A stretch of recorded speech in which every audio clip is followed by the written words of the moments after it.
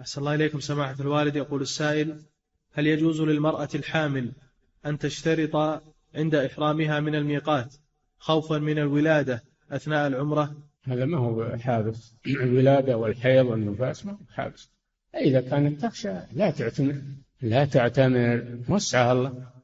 نعم.